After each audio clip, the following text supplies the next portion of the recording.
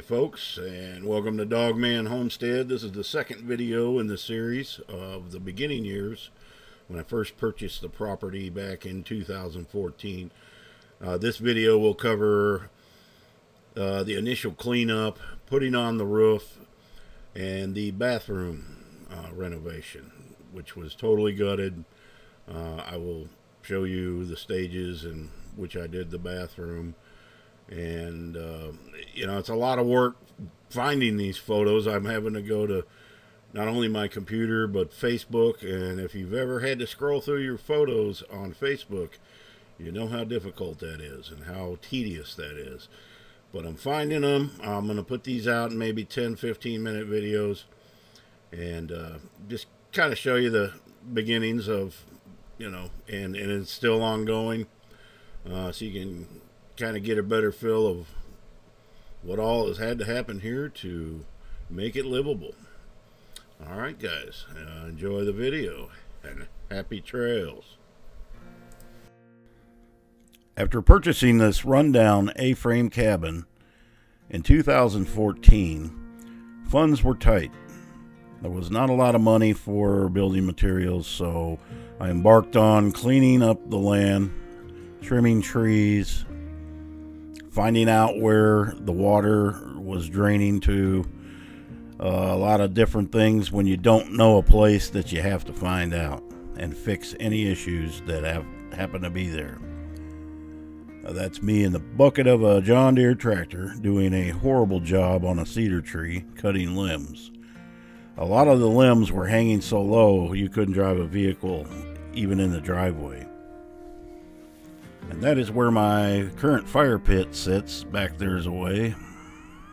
You couldn't even see the mountains behind the property because of all the tall trees, the Chinese privet, the weeds.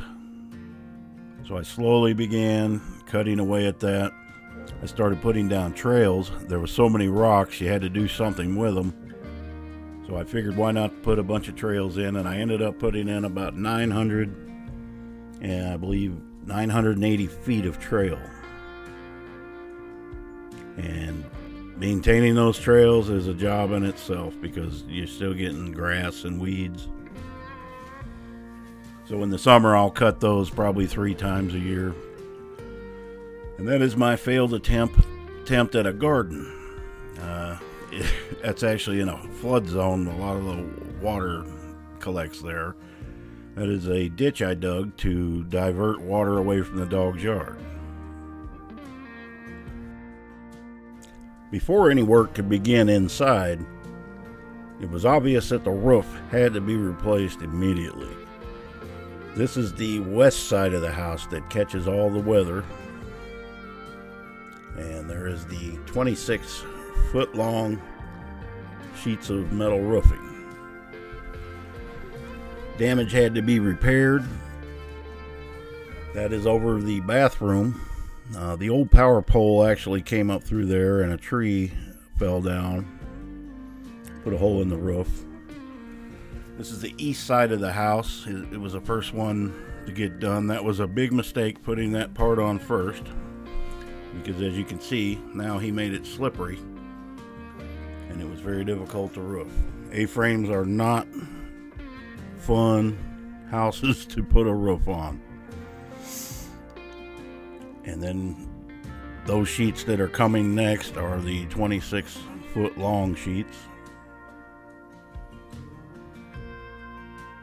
And here this side is all finished. Then I believe we had some bad weather coming in and he had it was the next week before he could start on the other side as you can see that does not look that does not look fun. No safety harnesses nothing.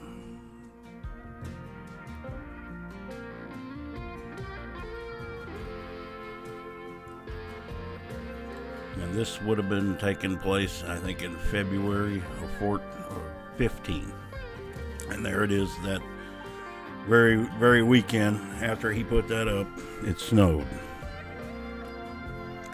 and there he is putting the ridge cap on. I actually won a uh, award for that photo in a photography contest.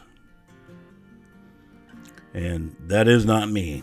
And then next, what had to happen is the patio sliding door had to be replaced, and this is how I did it. I took two windows out of the laundry room that I was planning on tearing down and put them next to the door. I think it turned out pretty good. And this would undergo several different color schemes until I discovered, figured on, uh, settled on one. There's the inside. There it is, all trimmed out. That was later taken down, and uh, you'll see in a future video where it's all cedar. These, as again, I say, these are the early pictures.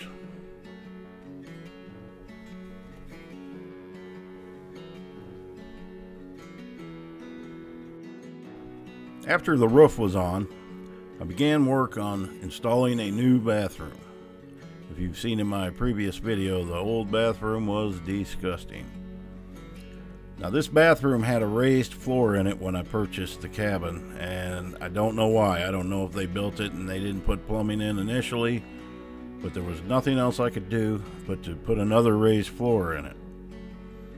Uh, so it was just the way the plumbing was, and believe me, I am not a plumber, and I still am not a plumber. I can get it done enough to use it,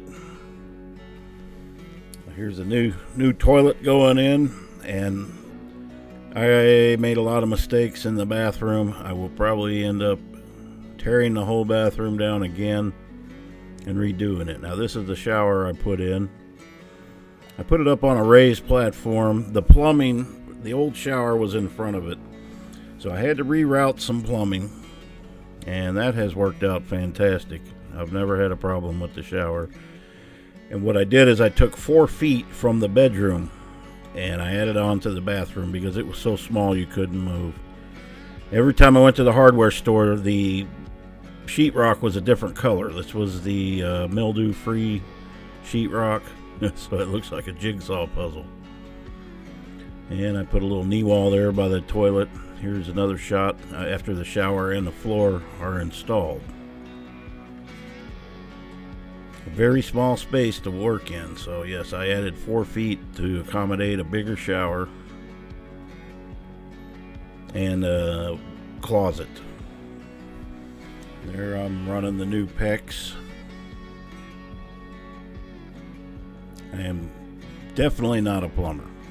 Or I, have gotten pretty good at electrical now though. But those were skills uh, I didn't really have uh, coming into this. That's the back wall of the bathroom. You can see it from the living room. Uh, you know, a lot of this was trial and error. There's the closet I'm starting to line with cedar.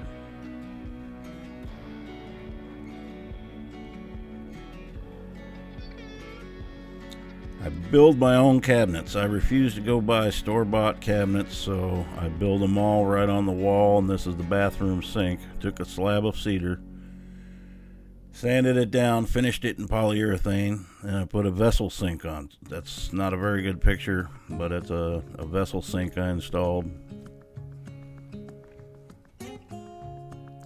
And the knee wall by the toilet which comes in handy trying to get off of the thing.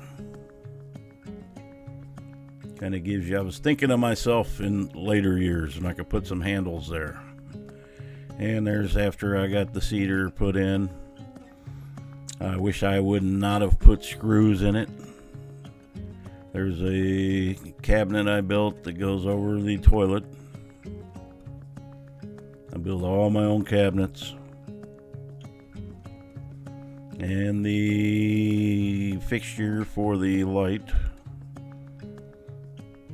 Got that installed. And the light fixture which a week later I broke one of the globes. And you can't find a replacement. And it sits that way today. And I build my own doors. And that is a big heavy door and I might also add there are steel plates all the way around in that bathroom, so it acts as a tornado shelter as well. And I build my own drawers. Cedar at the time was very inexpensive, so I probably overdid it in the cabin with cedar, but you know, it, it got the job done. And this is the old bedroom, which I converted into a laundry room. Because I will never go in that bedroom to sleep after seeing it the first time. Thanks for watching, folks. Uh, that concludes this episode. Uh, I will be having probably three or four more. I've got a lot of pictures left. We move on to the living room, putting the cedar up everywhere, putting too much cedar up everywhere. Uh, a lot of changes will be made in the future. When I first started working with cedar, I didn't really know what I was doing. I put screws in a lot of it. Uh, then I moved on to a brad nailer, which is the way to do it. Uh, a lot of the cedar was green when I bought it, and I did not put them smack together. I gapped them. Well, what happens is as it dries out, it shrinks, so I got big gaps in it. Um, it's a learning experience. Uh, but uh, I hope you enjoyed the video. Kind of gives you a, a little bit of an idea of what all I had to do to get this place up and running. All right, guys. I appreciate you watching. If you haven't subscribed to my channel, I would appreciate it if you would subscribe. Uh, I currently have projects going on right now. I'm building a big deck in the back off of the loft, and I'm also building right underneath it a screened in patio. And then I'm also building a big storage room uh, off to the side of it. So there's going to be a lot of content, a lot of building. I'm not an expert, but I get it done. Uh, it may not be perfect, but it works for me. Happy trails.